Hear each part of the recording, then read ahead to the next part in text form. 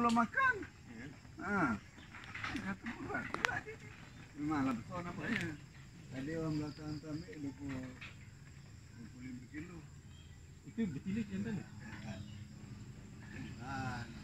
Buat ke kah? kena buat perubahan. So maknanya okey tu.